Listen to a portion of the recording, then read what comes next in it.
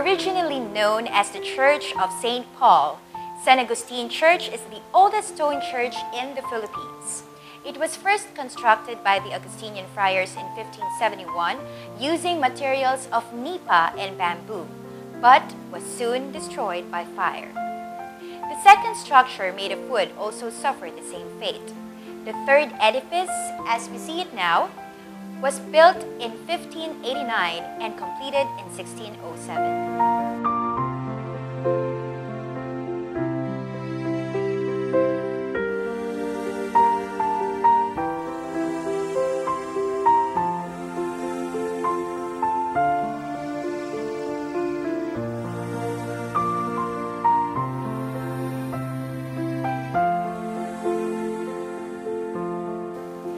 Located within the historic walled city of Intramuros, the famed San Agustin Church has been declared by UNESCO as a World Heritage Site in 1993.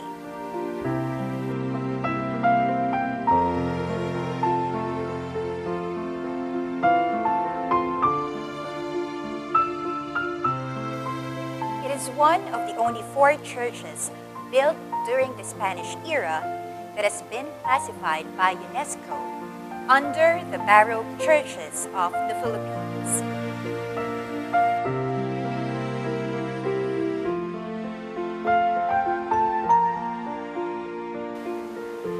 A mute witness to a historic past, it was at San Agustin Church that the first diocesan synod was held in 1581.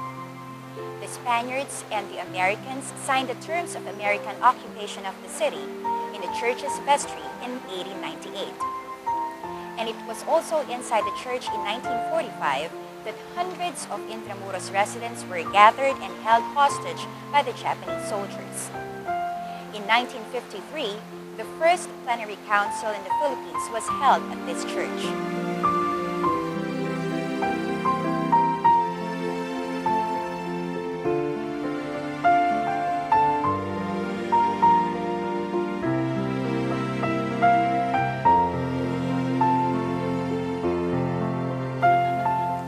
Despite its simple facade, the church's doors and interiors are elaborately designed.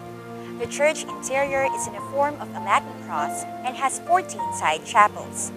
Enshrined inside the church is the image of Our Lady of Consolation, which was canonically crowned by Manila Archbishop Jaime Cardinal Sin in 2000.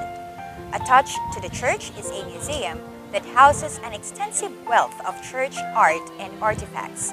Outside the church is a courtyard that has several granite sculptures of lions, which had been donated by Chinese converts to Catholicism.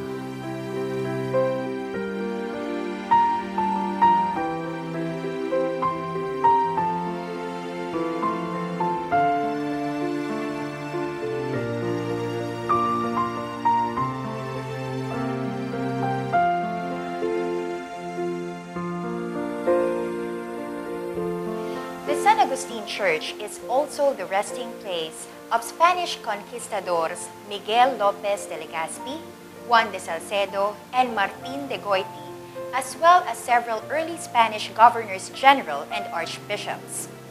Remains of notable Filipinos such as Juan Luna, Pedro A. Paterno, Trinidad Pardo de Tavera, and hundreds of lay persons are also buried in a vault inside the church.